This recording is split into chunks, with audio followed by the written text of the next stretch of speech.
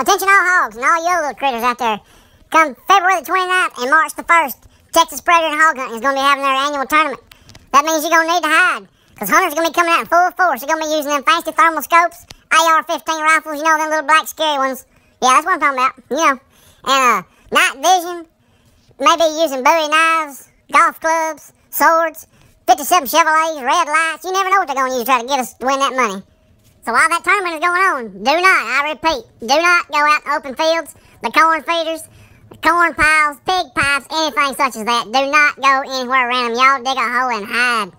It's going to be wild. They got poor old Uncle Scotty last year, so I'd like to have a little moment of silence for him, please. That's all I got for right now, folks. Y'all go hide, and hope all y'all make it through this event.